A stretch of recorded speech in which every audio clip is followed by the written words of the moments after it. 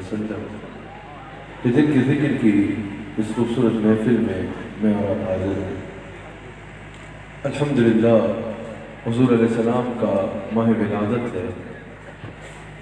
چہار جانب پوری دنیا میں حضور علیہ السلام کے آمد کی خوشیاں منائی جا رہی ہیں۔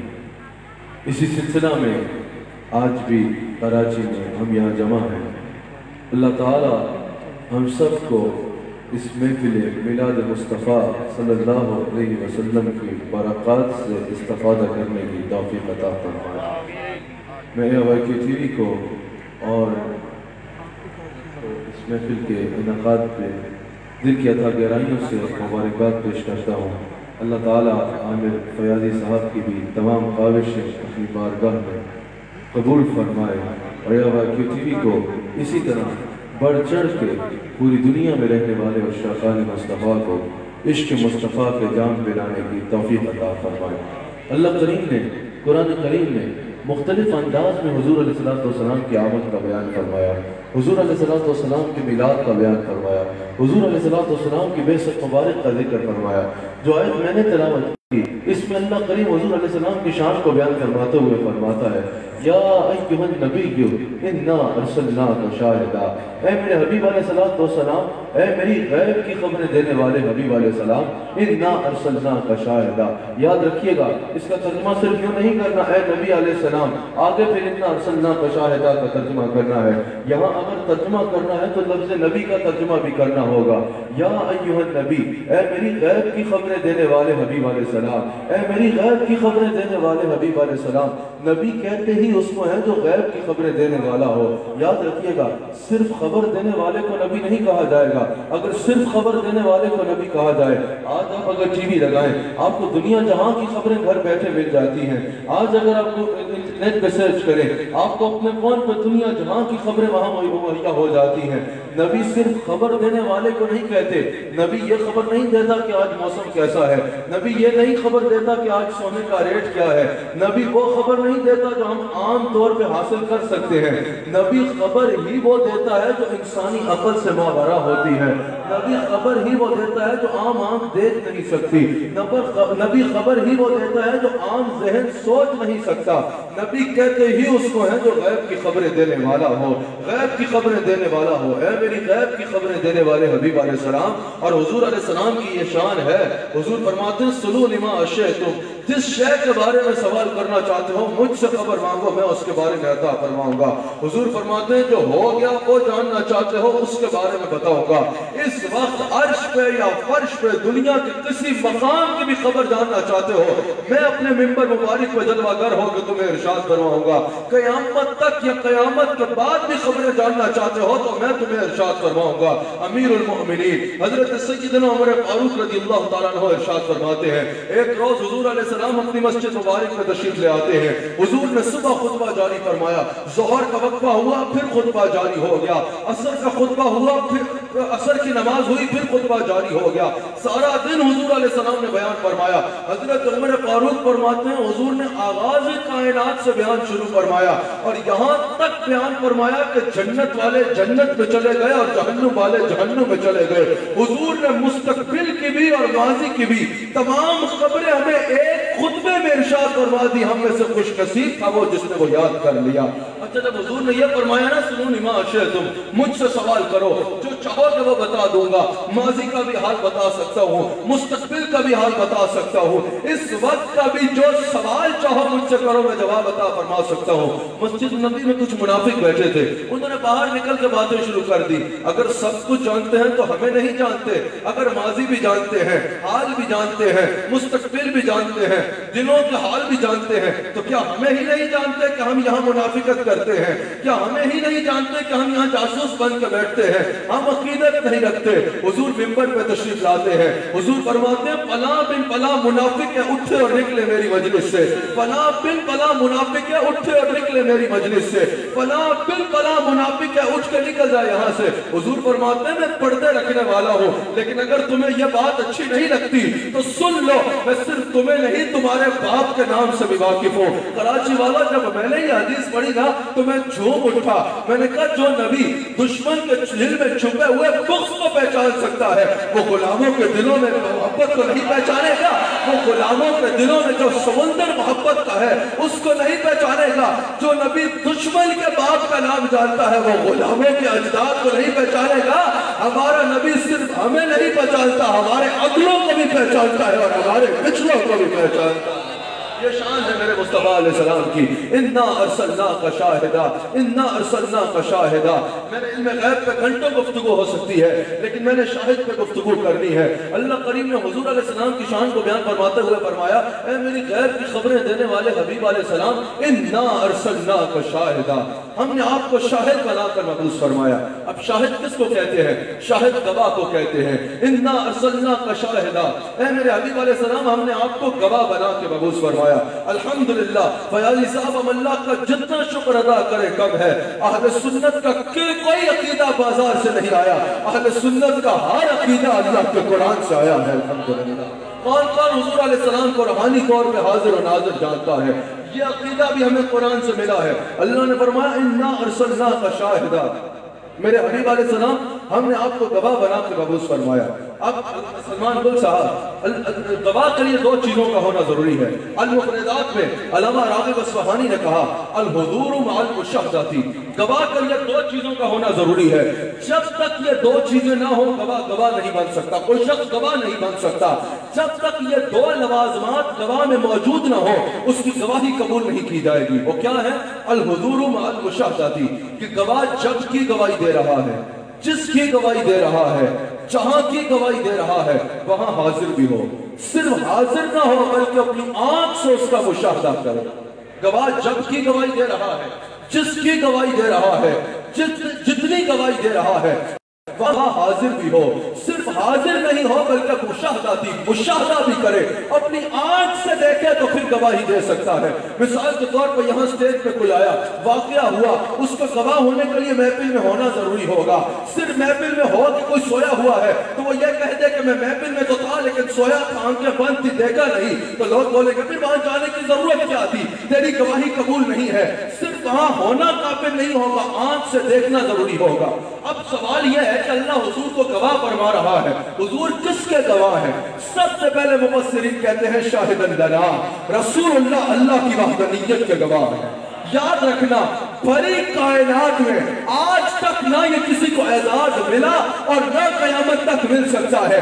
یہ اعزاز فقط سیدہ فاطمہ کے بابا کا ہے تو حضور اللہ کی وحدانیت کے چشمدید گواہ ہے۔ حضرت آدم علیہ السلام نے کہا، لا الہ الا اللہ۔ پوچھا، دیکھا؟ کہا، نہیں، دیکھا نہیں ہے۔ حضرت نو علیہ السلام نے کہا، لا الہ الا اللہ۔ پوچھا، دیکھا؟ کہا، دیکھا نہیں ہے۔ کوئی نبی تشریف لا رہے ہیں۔ کہہ رہے ہیں، لا الہ الا اللہ۔ پوچھنے والوں نے پوچھا، اللہ کو دیکھا؟ کہا، نہیں، پڑھتے میں نے کہ کلام کیا تھا۔ پھر کوئی نبی تشریف لاتے ہیں۔ فرماتے ہیں، لا الہ الا اللہ۔ پوچھنے والوں نے پوچھا، اللہ کو دیکھا؟ کہا، نہیں، فرشتے کے ذریعے کلام کیا تھا۔ پھر کوئی نبی تشریف لاتے ہیں۔ کہتے ہیں، لا الہ الا اللہ اللہ پوچھا اللہ کو دیکھا کہا نہیں آواز سے کلام کیا تھا۔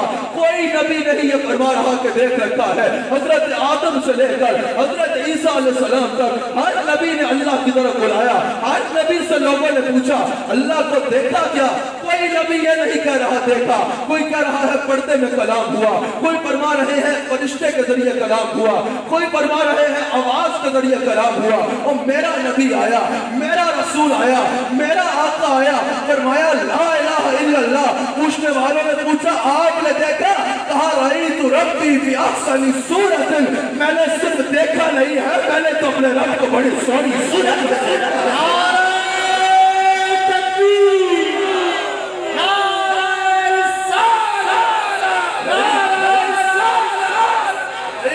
ربی فی احسن صورت اعلی حضرت کہتے ہیں، پھر اور کوئی غیب کیا؟ آپ سے نہا ہو بھلا، جب نہ خدا ہی چھپا، آپ پہ کروڑا درود، اور جب خدا کو رسول اللہ صلی اللہ علیہ وسلم چھپا تو خلقت میں کیا چھپ سکتا ہے؟ جب نہ خدا ہی چھپا، آپ پہ کروڑا درود۔ اچھا حضور نے صرف وہاں جا کے نہیں دیکھا؟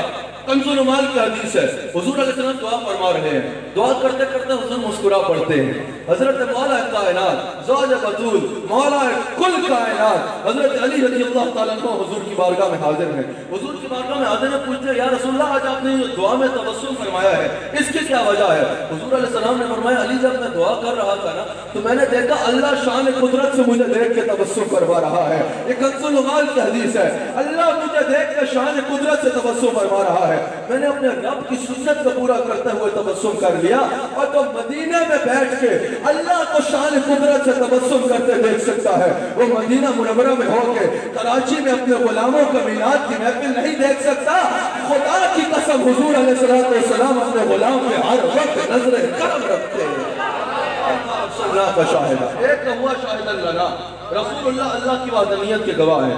پھر مفسرین فرماتے ہیں رسول اللہ صلی اللہ علیہ وسلم کو، اللہ نے ہر اس اس پر گواہ بنایا جس جس کی طرف رسول اللہ کو بھیجا ہے۔ اب رسول اللہ کس کی طرف بھیجے گئے؟ میں نے کل بھی بتایا، رسول پہلے انبیاء ایک وقت کے لیے آئے، ایک دور کے لیے آئے، ایک حصے کے لیے آئے، ایک قوم کے لیے آئے۔ اور حضور فرماتا لا یادوہا وہ اس سے تجاوز نہیں کر سکتے تھے۔ لیکن حضور تشریف لائے تو اللہ نے فرمایا، وما ارسلناک الا رحمتا للناس۔ وما ارسلناک الا رحمتا للعالمین حضور علیہ السلام کو اللہ نے فرمایا، میرے حبیب علیہ السلام، جہاں جہاں ہماری خدائی ہے، وہاں وہاں آپ کی مصطفی ہے۔ جس ذرے کا میں رب ہوں، اس ذرے کے لیے آپ راہم ہے جس جس انسان کا، جو جو انسان دنیا میں موجود ہے، وما ارسلناک الا رحمتا للناس۔ میں نے آپ کو تمام انسانیت کے لیے کافی بنا کے بھیجا ہے اب رسول اللہ کسی ایک خطے کے لیے نہیں ہے رسول اللہ کسی ایک قبیلے کے لیے نہیں ہے رسول اللہ کسی ایک ملک کے لیے نہیں ہے رسول اللہ عالمین کے لیے ہے تو رسول اللہ عرش والوں کے طرف بھیجے گئے رسول اللہ عرش والوں کے بھی گواہ ہے رسول اللہ عرش والوں کی طرف بھیجے گئے رسول اللہ عرش والوں کے بھی گواہ ہے رسول اللہ جنت والوں کا بھی رسول ہے رسول اللہ جنت والوں کا بھی گواہ ہے رسول اللہ صدرہ والوں کا بھی رسول ہے۔ رسول اللہ صدرہ والوں کا بھی گواہ ہے۔ رسول اللہ ہر مکان کا رسول ہے۔ رسول اللہ ہر مکان کا گواہ ہے۔ اور مکان کا گواہ کے لیے ضروری ہے۔ اور حضور مائل مشتاقہ تھی کہ گواہ حاضر بھی ہو اور ناظر بھی ہو۔ تو سنت نے یہ عقیدہ یہاں سے لیا ہے۔ رسول اللہ تمام عالمین کے گواہ ہے صرف دنیا میں نہیں، روحانی طور پہ تمام عالمین میں رسول اللہ حاضر بھی ہے اور بات کرنے لگا۔ وقت کیوں کہ تھوڑا ہے؟ یہ دلیلیں تو آپ علماء سے سنتے رہتے ہیں اور سننی چاہیے اور اللہ ان علماء کو سلامت رکھتے جو مسئلہ کو بیان کرتے ہیں۔ یہ تو آپ سنتے رہتے ہیں کہ حضور علیہ السلام آج حاضر و ناظر ہیں۔ میں ذرا ایک اس سے اگلا سٹیپ آپ کے آگے بیان کروں۔ رسول اللہ صلی اللہ علیہ وآلہ وسلم، شاید آپ نے نہ سنا ہو۔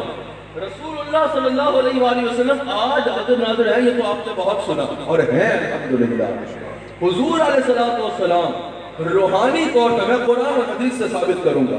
رسول اللہ صلی اللہ علیہ وآلہ وسلم، کیونکہ حضور لباس بشریت میں آئے۔ سمجھ رہے ہیں؟ رسول اللہ صلی اللہ علیہ وسلم لباس بشریت میں تشریف لائے، حضور کی اصل نور ہے۔ حضور کی اصل کیا ہے؟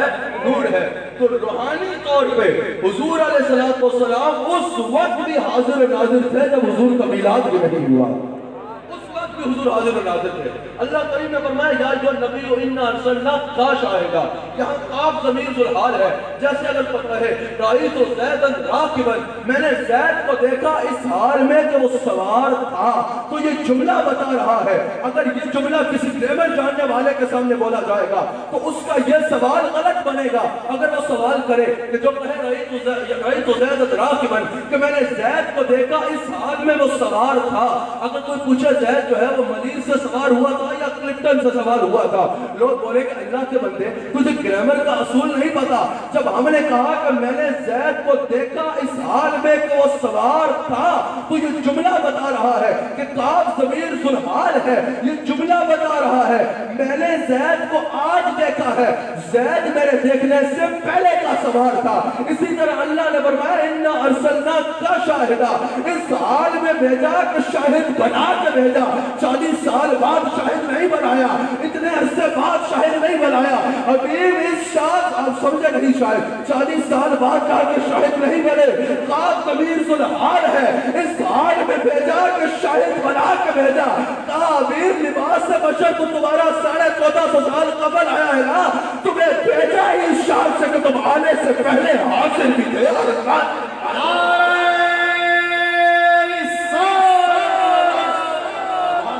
آپ کہیں گے بھائی بات تو کر دی، اس میں ثبوت دیا جائے۔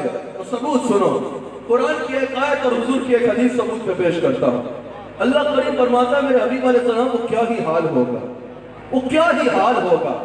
جب ہم ہر امت کو لائیں گے ایک گواہ کے ساتھ۔ بڑی توجہ سے سننا۔ ہر امت کو لائیں گے ایک گواہ کے ساتھ اور سب کے حق میں آپ کی گواہی قبول فرمائیں۔ اب حدیث بخاری سنو۔ حضور علیہ السلام فرماتے ہیں کہ اللہ تعالیٰ جب تمام امتیں اکٹھی ہوں گی نا، جب گناہ گاروں سے پوچھے گا کہ چنگے کام کیوں نہیں کیتے؟ کیوں غلط کاموں میں پڑے رہے؟ کیوں غلط راستوں میں گئے؟ تو امتیں انکار کر دیں گی۔ اللہ، تیرے نبیوں نے تو ہم تک پیغام پہنچایا ہی نہیں۔ حضور فرماتے ہیں، اللہ نبیوں سے پوچھے گا۔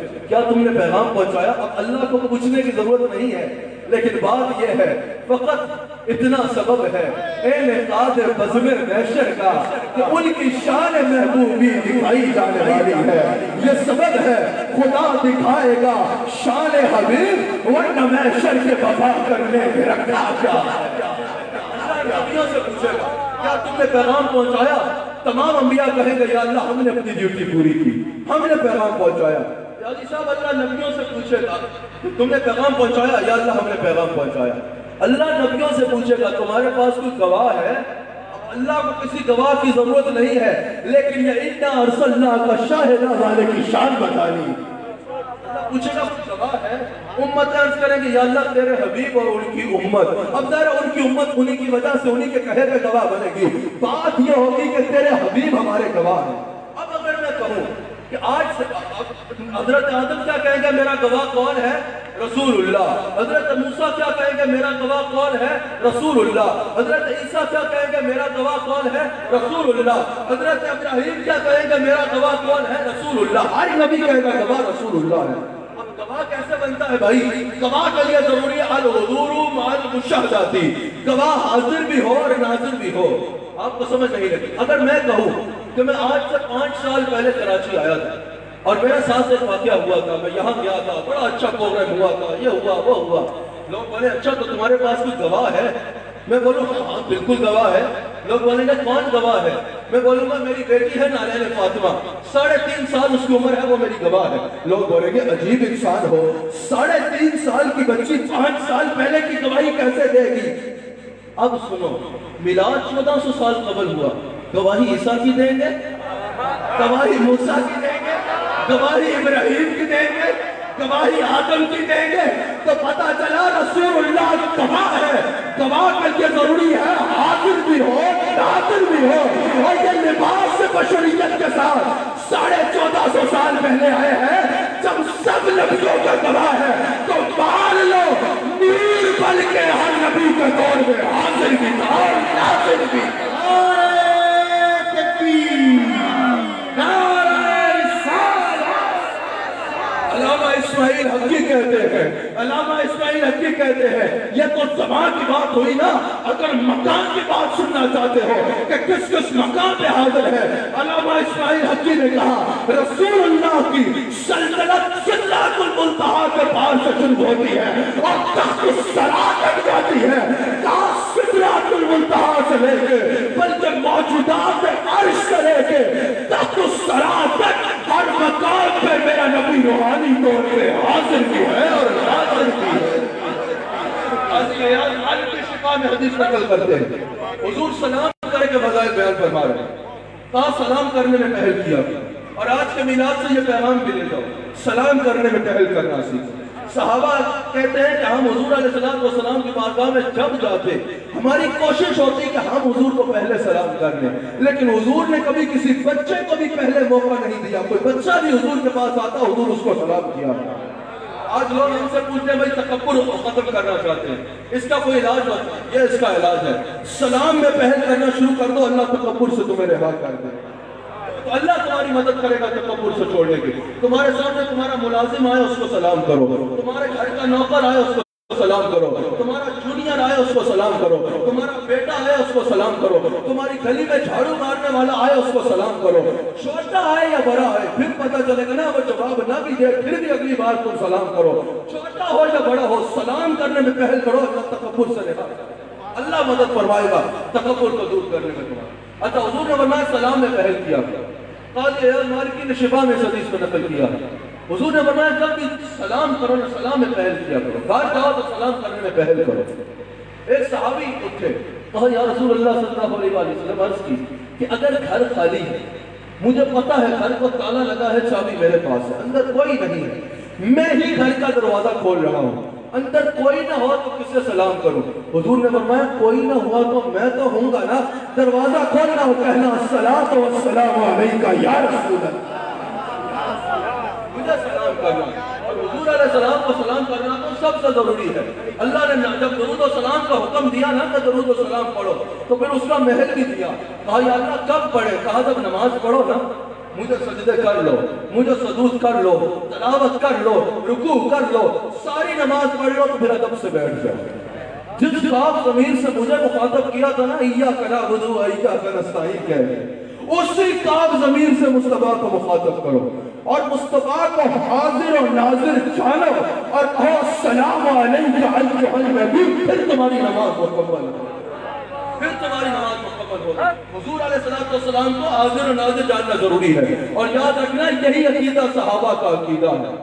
یہی عقیدہ صحابہ کا عقیدہ ہے۔ خالی ناروں میں صحابہ سے تعلق اور غلامی نہیں اپنانی، بلکہ عقیدوں میں صحابہ کا نوکر بننا۔ اور وہ کیسے ہوگا افضل البشر بعد الانبیاء۔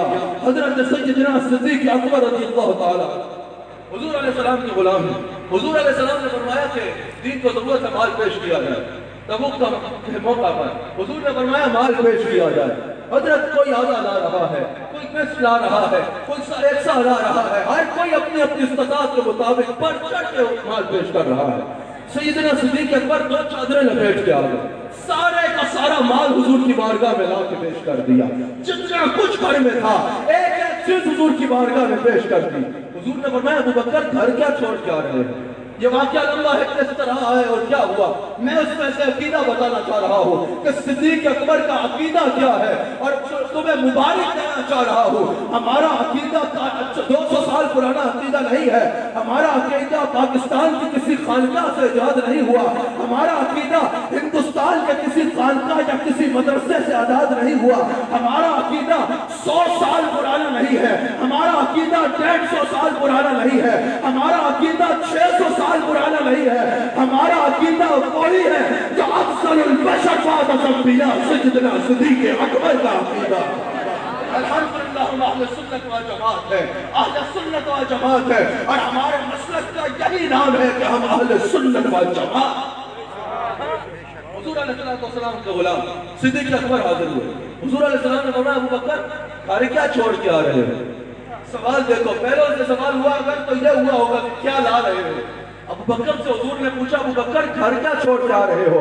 ابقیت اللہ و رسولہ۔ یا رسول اللہ گھر میں اللہ کو چھوڑ کے آ رہا ہوں اور آپ کو چھوڑ کے آ رہا ہوں۔ میں سوال کرنا چاہتا ہوں رسول اللہ سامنے بیٹھے ہیں، حضور علیہ السلام اپنی مسجد مبارک میں سامنے جلوہ گر ہے اے ابو بکر صدیق رسول اللہ کو سامنے بیٹھے ہیں اور آپ جواب دے رہے ہو۔ اب ابقیت اللہ و رسولہ، گھر میں اللہ کو چھوڑ کے آ رہا ہوں اور رسول کو چھوڑ کے آ رہا ہوں۔ اللہ کو چھوڑ کے آ رہا ہوں تو سمجھ آتی ہے، رسول کو سامنے بیٹھے ہیں۔ ابو بکر صدیق کا عقیدہ معلوم ہوا۔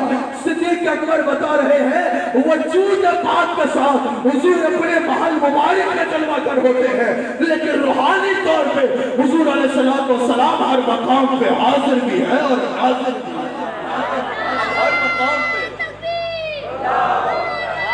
اب ہر مقام پہ، ہر مقام پہ حاضر و ناظر میں شرعی عقیدہ کیا ہے؟ اس میں شرعی عقیدہ کیا رکھنا ہے کہ حضور علیہ السلام ہر مقام پہ کیسے حاضر ہیں اور کیسے ناظر ہیں۔